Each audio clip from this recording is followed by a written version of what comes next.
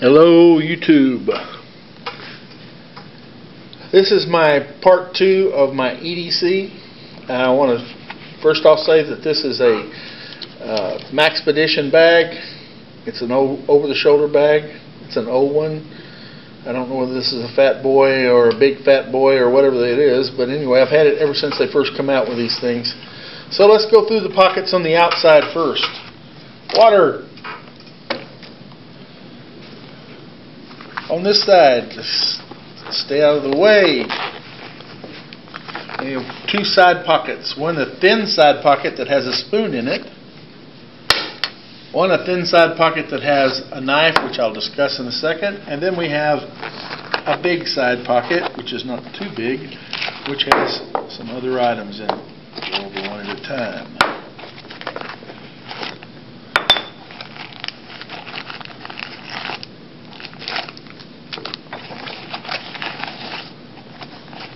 All right. First off, El Cheapo knife. I think it cost me five bucks. Uh, sharp as the devil. Uh, stainless steel holds up real well. Uh, I bought it from Carter's Country here in Texas. That's our big uh, rifle and ammo uh, supply store, at least here in the Houston area. So that was bought a long time ago. It's been around a long while and still sharp and still going strong. An old cheapo spoon. Uh, bank line. Got to have plenty of bank line. This is heavy bank line. It's wrapped with rubber bands that can be used for different things, and it's also wrapped with some tinder material. This is raffia, uh, a jungle type product. It has an 8 ounce fishing weight on the end of it. That 8 ounce fishing weight allows me to toss lines over limbs when I have to string something up. So this it just has helped so much in the in the past to run lines and and uh, I can even fish with it if I need to. Uh, with with a few seconds, I can take this thing out, put it out halfway across the river. With a good bait on it, I'll have a catfish before too long here in Texas. So, bank line, fire starter material. This is just some extra stuff that got stuffed in the pocket, never got removed. It's some lint, dryer lint, some cotton balls, and a little candle. Good things to have. Next thing, smaller bank line. Also good for fishing. Also good for sewing things together if you get a rip in a tarp or something. Sewing your pants together if you happen to bend over and do a whoopsie. Uh, so this stuff is good. I have sailor's needles in another part of the kit and other things to keep them going. Uh, wire for snares. Wire for hooking things together. Wire for repairing things. You never can tell when you can use wire. A little bit of Gorilla Tape. Uh, probably about 50, 60 feet of Gorilla Tape. That's all. Part of my fire kit, too. Bic lighter. Inside the Bic lighter is some heavy bank line, and over the top of it is some El Cheapo camouflage uh, duct tape. It's good for different things, especially if you're going stealth camping. Stealth camp. See, I fixed this. This is a glass uh, glass culture tube. By the way, I'm a science teacher. That's why I have glass culture tubes. I keep my only piece of personal hygiene material in this vial. This is Dr. Brown, I think's uh, wonderful soap. Dr. Brown soap resides in here. I can brush my teeth with it. I can wash my hair with it. I can wash a wound out with it. I can take a bath in it. Uh, it's just great. So I keep a bottle of this in here. Do I keep washcloths and toothbrushes and mm, no. Sorry. If you can't stand my smell, move upwind. Just joking. Next pouch. Little side pouch. This is one of the thin pouches. I keep a notebook. I keep pencils and pens in here for making notes, leaving messages, whatever. I have a little uh, saw. This is fixing to be replaced. I got one on order of the better kind, the, the chainsaw types. But this has been I've used them in the past and they work, but they just don't work for very long. This is a bail for my coffee pot. This allows me to hang or suspend uh, my coffee pot over the uh, the fire and uh, still be able to deal with it. So that's handy. Next pot has only three things in it. My compass, which is a pretty good compass. Not the super best, not the super cheapest, but it's a backup compass because in my pocket is always, uh, well, if I'm out in the woods, will always be a Brunton compass. Uh, little uh, LED light. It's cheapo. Pick them up anywhere for a couple of bucks. My Leatherman. This is old. This is antique. This is probably well, I've been teaching for 15 years, and then I was at the medical school for another. This is almost 30 years old, and it's still going strong. It's just a plain old Leatherman tool, the original one that came out, stainless steel. All the blades still work. Blades are still sharp as all get out. The pliers work. I had to put a little oil on them every once in a while, tighten the the pieces up. But other than that, great tool. I don't need a splurge or a surge or a pudge or whatever they call them. That works fine for me. In the back pocket, we have, first off, Dave, thank you for putting me onto these. It's a two-sided, double-sized space blanket. It has an orange reflector on one um, orange on one side and a reflector on the other side. Great for signaling, great for keeping yourself warm if you need to. It's really sturdy material there. Also in here, thanks to Dave Canterbury, I have, well, just a regular old cheapo one. I have about three or four contractor bags. Great advice, contractor bags. I found all kinds of uses for them, including picking up other people's trash from the woods. Please don't ever let me see you throw trash out. I might react violently. Next pouch. It comes out of here. This is my water pouch. Notice it's blue for water. In Texas it should be chocolate brown for water. Don't see blue water much in Texas unless you go about 15, 20 miles off the coast and then you're out of Texas. All right. In this, I have items that I would never be without. This I have one of these made up for all of my systems, and there's another one in the truck. I have found out some. I have chemicals in here for for automatic emergency water system, water uh, dealing with uh, really bad waters. Okay, I have a couple of different types of that. Plus, I have iodine in my first aid kit in here you never know where you're going to be. And if I'm really worried about the water, after, even after I've run it through a filter like uh, what I'm fixing to show you, I still have this material here. If I'm still worried about it, then I will chemically treat it. Next thing in this bag that goes in my water kit. Those of you not familiar with the British military, this is called a Milbank bag.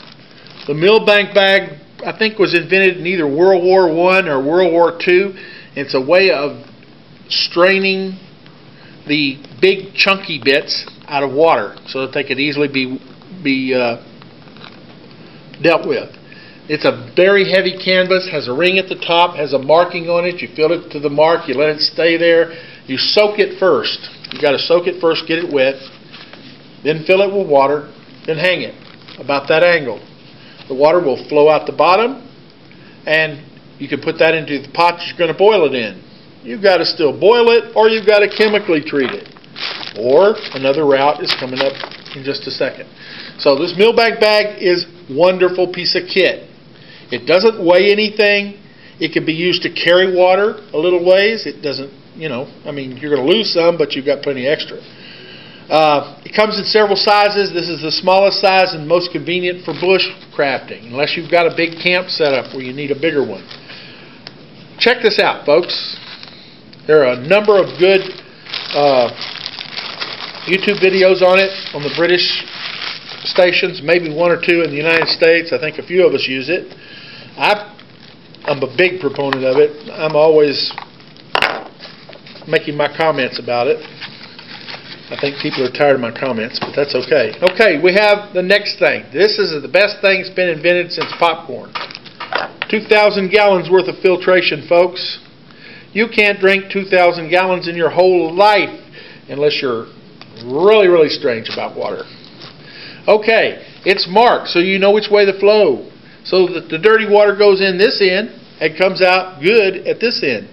There is a syringe, which I have in another compartment, that goes with this that gives you all, that allows you to flush this out. Flush from this end out, flush all the dirtiness out, and so this thing lasts and lasts and lasts. Sawyer does say this do not use this, get water in this, and then store it in places where it could freeze. It doesn't do well in freezing water. It will break the filter cartridge up. Second thing is, do not store for long periods of time above 200 degrees Fahrenheit.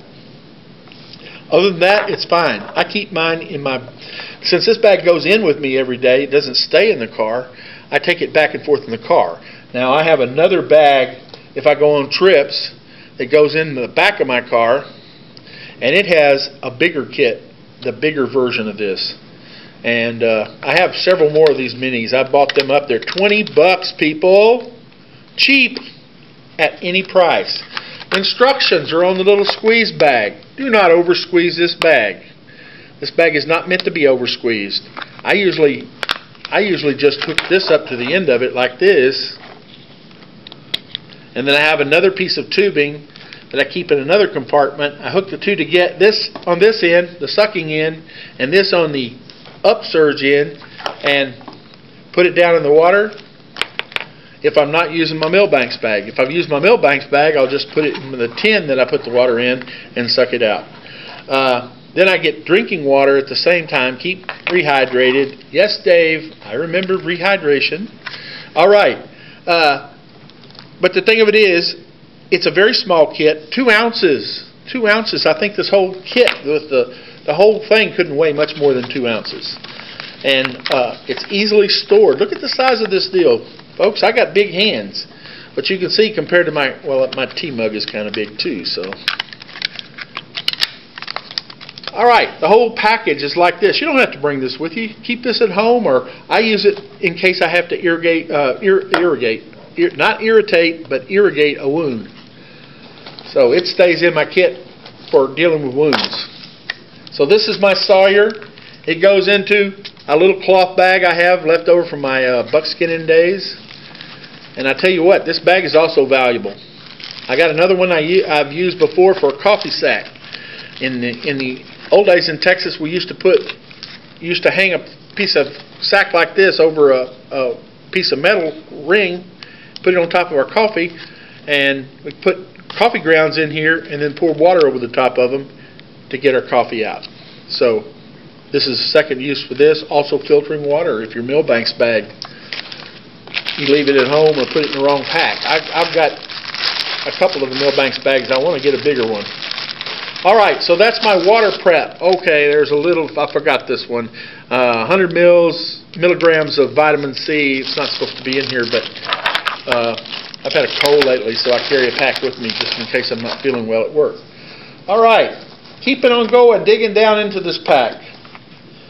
We're going to go to the front pouch now. We have several little small items in the front pouch. This is where my camera usually rides, so there's not much extra space in there, even though the camera is small and dinky and wimpy. But I carry some spare spare batteries, waterproof matches, Fire starter, this is this is these things are jewels. If you haven't seen these, these are really jewels. They do a good job starting a fire, and they're one-handed, Dave. One-handed, one-handed. They work great. I don't know who made them, but they are so super. I'm buying another one this week. There's my that tubing I was telling you about the uh, tubing. I use that for a lot of things. I've made slingshots out of this material. I have made. Uh, uh, I shouldn't say that, but a way to drain liquid properties out of other people's cars.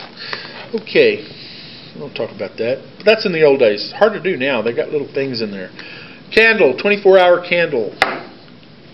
This is cotton muslin cloth. Good for wiping dishes down, good for wiping your face down. There's a bandana in here too for similar purposes, or either one of these can be used to make char cloth.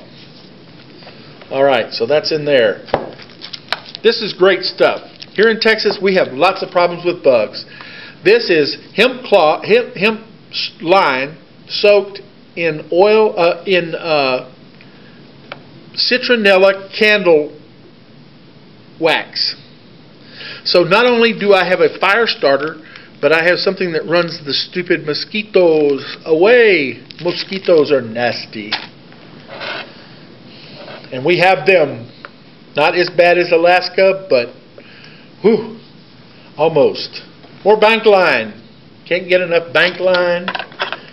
This is a cute little thing somebody gave me the other day. Look at this. It's a carabiner, fairly sturdy carabiner too, with a little tiny knife built into it. Dual purpose. Thanks, Dave. I think I'm doing a Dave Canterbury ad. Okay, next bag.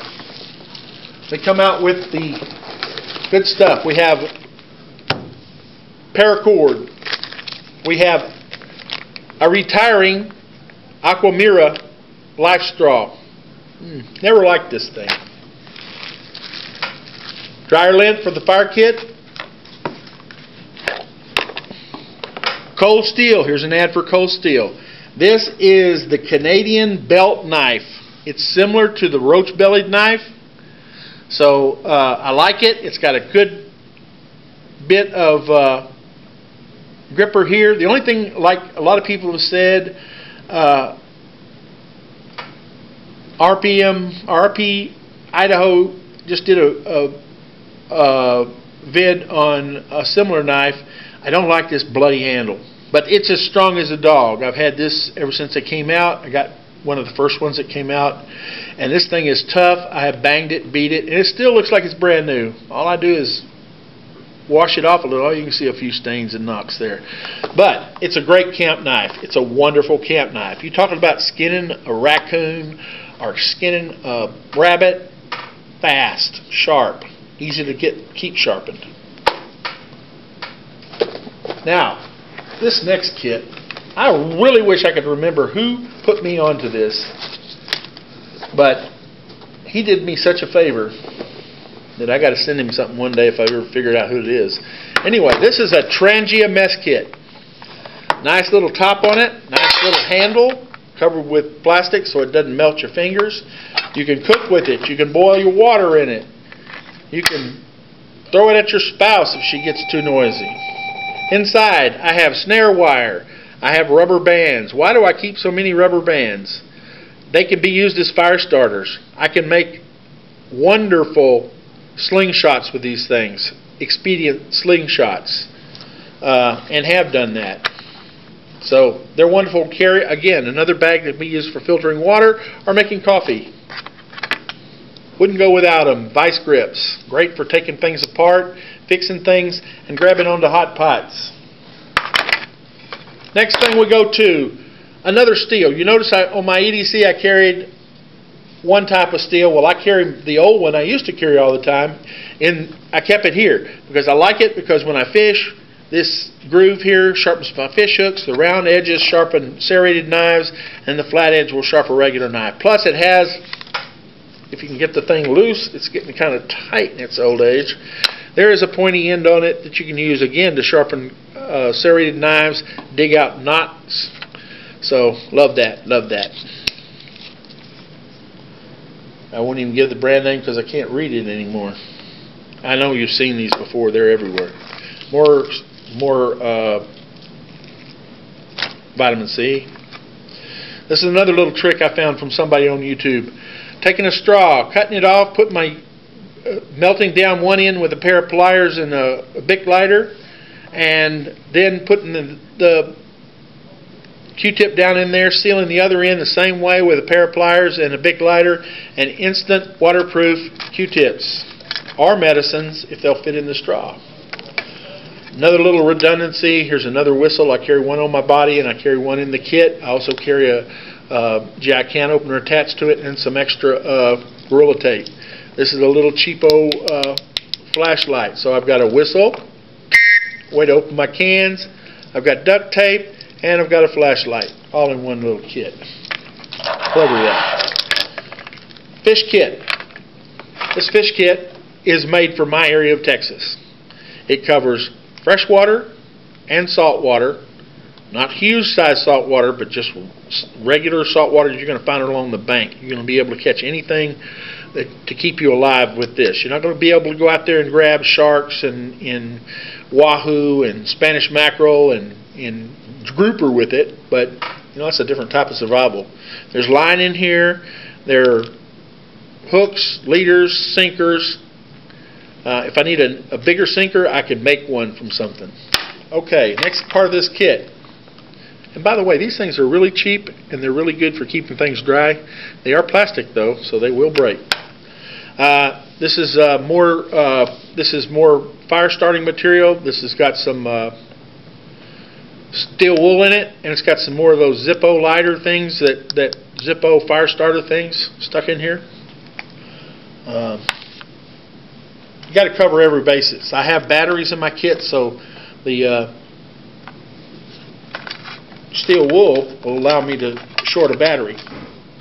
Okay, next, another part of the fire starting kit and first aid kit is my magnifying glass. This is a fairly pow powerful one. It's made for geologists. Uh, it has two lenses on it. You can start a fire with it. You can pick that ugly splinter out of your finger, or in our case, cactus spine, or you can look at that really weird bug that's sucking your blood out. It's probably not a bug, by the way. It's probably a tick, and you probably, if you don't deal with it, you're probably going to end up with something that you really don't want. Stuck in here is an old muscle, uh, uh, old 50 caliber ball. It was part of my. Uh, I don't know how it got in here. I think I was using it to tie up a corner of a tarp or something at one time or another, and it just stayed here. Seemed like the right place to be. Uh, ferro rod, a big one. My sewing kit has a couple of uh, sailor's needles in it, got some linen line on the outside of it, waxed linen line, and a few smaller needles inside. Uh, inside here, loose, laying around and flipping around, is my signal mirror. Everybody's seen a signal mirror before. This is not a very expensive one. It's plastic.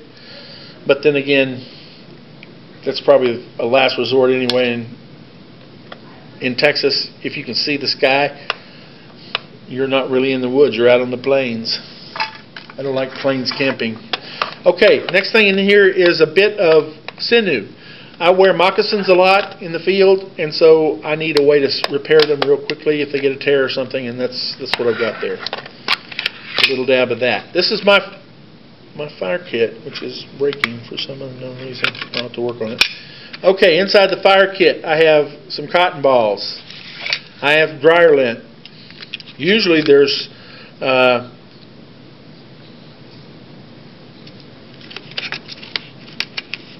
my mind just went dead, but that's okay. I usually have some cotton material that's been charred, char cloth. There we go. I got it out. But I used it all up the last trip. This is a brand new box. I squished the other one. Hexene blocks from the military. Scrape these up, make a little tiny pile of these things, and things happen. This is Alibates chert. This is good chert. It makes a spark. No problems with it. Never. I've never. If you keep the edges sharp on it, I've never even had a problem getting a spark. And bunches of them. It's good stuff.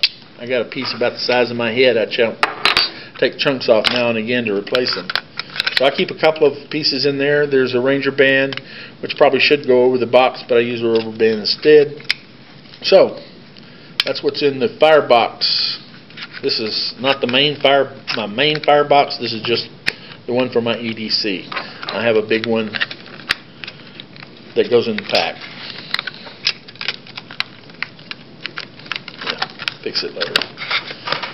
One thing about the United States, we've got tons of Altoid tins of all kinds of sizes. So,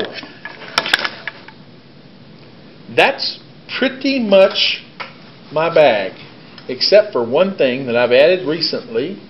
I, well, got this also in this bag are some uh, brew kit materials, tea, sugar, not sugar, but sweetener, coffee, etc., stuck in the bag.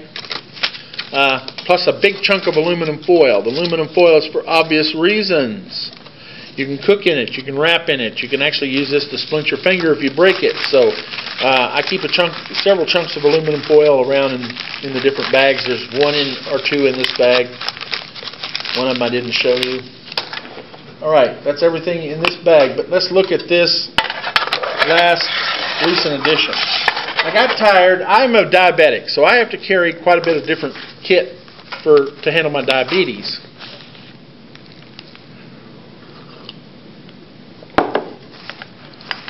This is my test kit. Goes with me everywhere, constantly using it. One of my syringes. This I carry with me all the time. It stays in my desk drawer when I'm at work.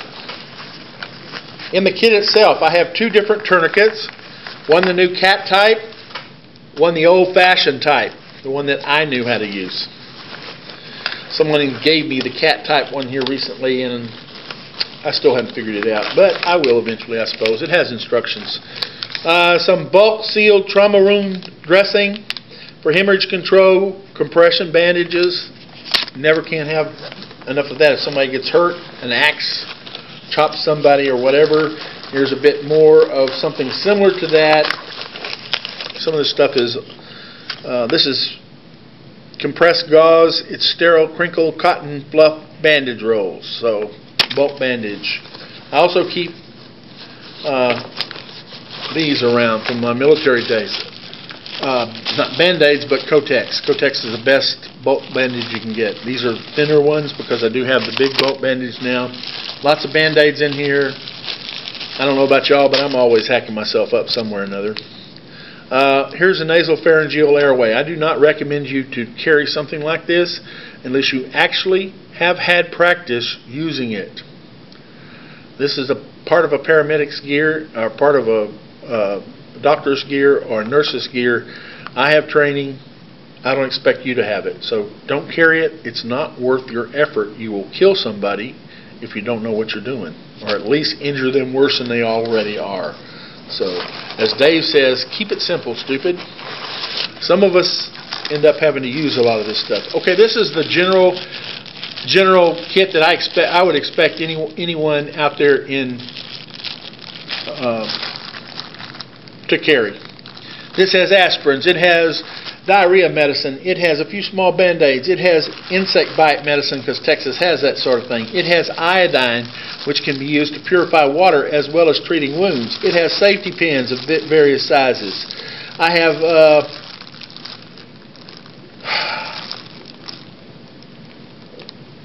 triple uh, triple antibiotic ointment. I've got burn ointment in here.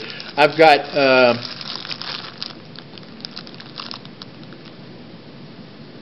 alcohol preps in here, which can be used for fire starting. So there's all kinds of stuff in here that you use. More Q-tips, all sealed in plastic. So that's important. Little first aid kit. That's all it takes. This probably has more of it in there because I take the bottle of iodine with me. I can get it smaller than that. I've got extras in here because it seems like I never treat myself. I always treat somebody else. And it happens just about every camping trip. I end up having to treat somebody's bobo. And the only thing that's missing out of here that needs to be replaced, and it's on my list, is moleskin. Because moleskin is essential. And moleskin was used on the last little uh, metal detecting trip I went on when somebody had wrong size boots and ended up wrecking his feet. Okay, that's all, YouTube. I'm sure you're happy to hear me shut up everybody else seems to be. Thank you very much. Uh, I appreciate all the wonderful videos you guys turn out, and I know this one isn't anywhere near to that, but it's my contribution to YouTube. So goodbye, folks.